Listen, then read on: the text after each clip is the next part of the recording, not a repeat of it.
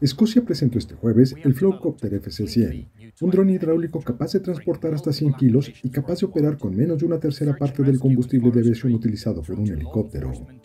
El dron utiliza un tipo completamente nuevo de toma de fuente hidráulica que le permite volar durante horas y levantar una carga pesada, con el potencial de reducir los riesgos para las tripulaciones aéreas en zonas de conflicto o de desastre al trasladar la carga a áreas remotas o de difícil acceso. También está diseñado para utilizarse en industrias como el comercio minorista, las energías renovables y la agricultura. De acuerdo con el director general de Flowcopter, Peter McCurry, este dron es algo completamente nuevo. Este es nuestro novedoso tren de potencia de bajo peso. Es una capacidad muy única. Este dron es el primero en el mundo que incorpora esta tecnología.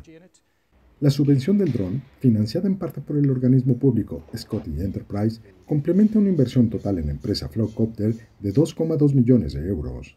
El gobierno del Reino Unido ha establecido que para el año 2030 el 10% de los combustibles de la aviación del país provengan de combustibles de aviación sostenibles.